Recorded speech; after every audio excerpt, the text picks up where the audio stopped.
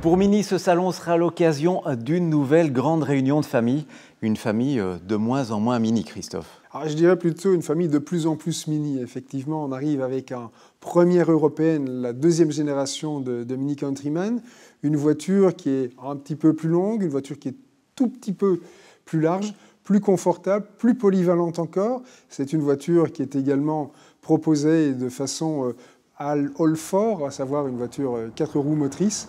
Et puis, euh, nous avons le plaisir de la présenter en, première européenne ici à Bruxelles. Alors cette euh, nouvelle Countryman aura bientôt droit aussi à une version hybride. Effectivement, ce sera la première fois que Mini présentera une voiture plug-in hybride, une voiture rechargeable.